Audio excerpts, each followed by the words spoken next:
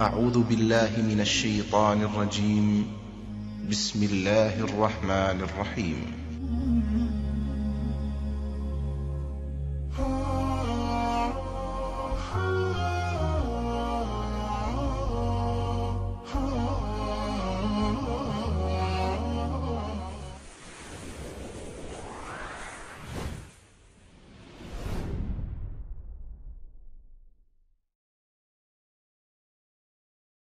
ওয়ালাইকুম আসসালাম রহমতুল্লাহি ওবরাকাত সম্মানিত আবু আহমদ ভাই, সৌদি আরব।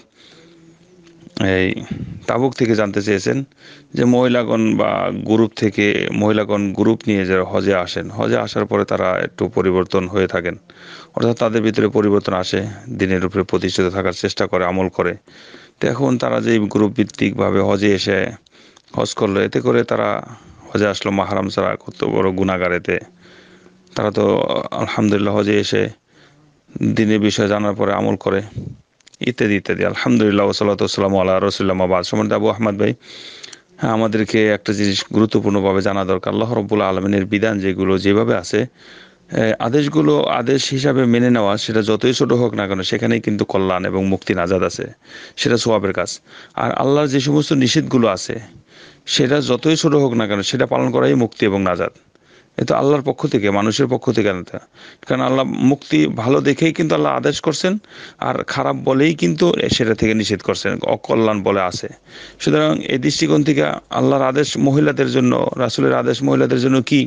যে তারা হজে আসলে মাহারাম থাকতে হবে সফর করলে মাহারাম নিয়ে সফর করবে। এটা তো আল্লাহর আদেশ। সেখানে কল্যাণ আছে। এতে তো হজ তাদের ফরজ হয় না। তারা বাড়িতে থাকে এবাদত বন্দিকে যেটা করার চেষ্টা করবে। আর আল্লাহর কাছে হজের যদি আশা করে, তামান্না থাকে বা সেই ধরনের মন মানসিকতা তাদের উদার থাকে, তাহলে চেষ্টা করবে। আল্লাহর কাছে দোয়া করবে। মাহারাম সহ হজে আসবে। সেখানে তো কত বড় সেফটি অনেক সময় দেখবেন যারা এই ধরনের ঘটনা ঘটে যায় বা আসে, কত ধরনের বিপদের সম্মুখীন হয়। মাহারাম না থাকলে কত ধরনের বিপদ হইতে হয়। পর্দা অনেক বড় মহিলাদের জন্য গুরুত্বপূর্ণ জিনিস।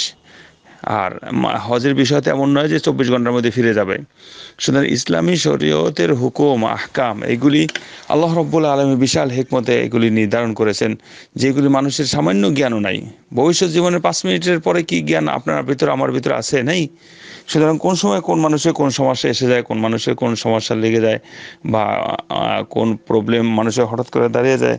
সুতরাং মানুষের জীবনের কল্যাণ, অকল্যাণের বিষয়গুলো আল্লাহ সুবাহন তালা জানেন। যার কারণে আল্লাহ এগুলি মানুষের জন্য নির্ধারণ করে দিয়েছেন যে তোমরা এটা করবা, তোমরা এটা করবা না। আমাদেরকে সে বিষয়গুলো রাখতে হবে। তারপর অনেকে এসে যায়, আমাদের দেশীয় মহিলারা এসে যায়, মাহারাম ছাড়াই কেউ মার সাথে, কেউ খালার সাথে ইত্যাদি ইত্যাদি, এরকম মহিলা পাড়া প্রতিবেশী মিলে এসে যায়। এই ক্ষেত্রগুলিতে যদি তারা এসে যায়, হজ হয়ে যাবে। হজ হবে না, হজের নিয়মকানুন যদি থাক, ঠিক থাকে হজের বিষয়, বিধিবিধান যদি ঠিক মাল যদি হালাল থাকে, তাহলে হজ হওয়ার না হওয়ার এনে কিছু নেই। কিন্তু তারা যে বিষয়ে শরীয়তের লঙ্ঘন করে, সেই জন্য তারা গুণাগার হবে, আল্লাহর কাছে মাপ চাইতে হবে, আল্লাহর কাছে তবা করতে হবে আল্লাহর কাছে এই বিষয় নিয়ে ক্ষমা চাওয়া তাদের জন্য ফরজ। কারণ তারা এই শরীয়ত বিরোধী কাজে লিপ্ত হয়েছে। উচিত নয় এইভাবে আসা। তো যাই হোক, তারপরও বিষয়গুলো শরীয়তের মধ্যে থাকার চেষ্টা করবে, আল্লাহর কাছে দোয়া করবে। আল্লাহ হয়তো বা তাকে ওইভাবেই ব্যবস্থা করে দিতে পারে, নিয়ত সৎ থাকলে আল্লাহর কাছে দোয়া করে। আল্লাহ তাকে যেহেতু হজ ফরজ করছেন তার তার জন্য আসার ব্যবস্থা করছেন এবং তাকে মাহারাম নিয়ে আসার ব্যবস্থা আল্লাহর কাছেই আছে, করে দিতে পারেন। আল্লাহ যদি এটা করতে পারেন ওইটা পারবেন না কেন? আল্লাহর কাছে শক্তি নাই? অবশ্যই। লাশ আঁকেতে কোনো সন্দেহ নেই। সুতরাং আমাদেরকে এই বিষয়গুলো লক্ষ্য রাখা উচিত যারা এই সমস্ত মহিলারা এভাবে করে।